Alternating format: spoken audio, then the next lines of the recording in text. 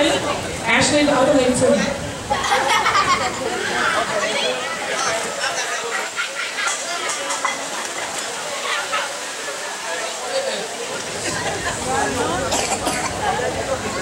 I